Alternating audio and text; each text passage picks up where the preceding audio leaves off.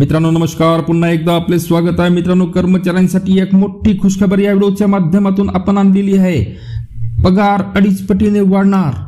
नेमका कशा प्रकारे सरकारी कर्मचाऱ्यांचा पगार अडीच पटीने वाढणार आहे त्याबद्दल सविस्तर आपण या व्हिडिओमध्ये माहिती घेणार आहोत. तेव्हा मित्रांनो व्हिडिओला शेवटपर्यंत पहा.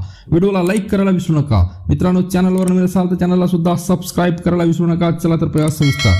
केंद्र सरकारने नुकतेच केंद्रीय कर्मचाऱ्यांच्या दुसऱ्या महागाई भत्त्यात वाढ केली आहे. मात्र केंद्र सरकारकडून कर्मचाऱ्यांना लवकरच मोठी बातमी मिळण्याची शक्यता वर्तवण्यात येत आहे. आठव्या वेतन आयोग लवकरच लागू होण्याची शक्यता वर्तवली जात आहे. सध्या केंद्र सरकार केंद्रीय कर्मचाऱ्यांवर मेहरबान आहे. महागाई भत्त्यात चार टक्के वाढ केल्यानंतर आणि महागाई सवलतीत आणखी अनेक भत्ते वाढवण्याचा सरकारचा विचार असताना आठव्या वेतन आयोगाची ही चर्चा जोरात सुरू आहे. आठवा वेतन आयोग लागू झाल्याने कर्मचाऱ्यांच्या पगारात अडीच पटीने वाढ होणार आहे. याचा फायदा एक कोटीहून अधिक केंद्रीय कर्मचारी आणि पेन्शनधारकांना होणार आहे.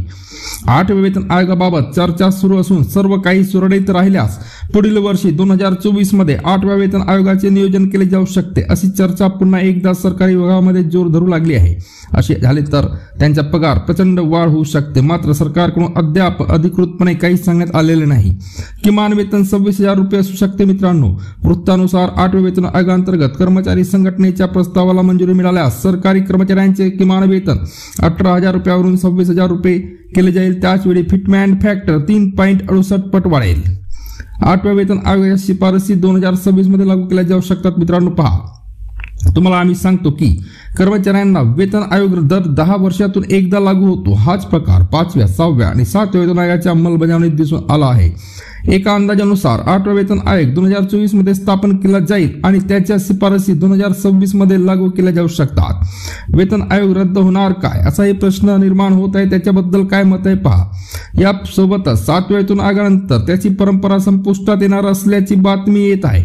म्हणजे सातव्या वेतन आयोगानंतर आता नवीन वेतन आयोग येणार नाही. त्याऐवजी सरकार स्वयंचलित वेतनवाढ प्रणाली लागू करू शकते.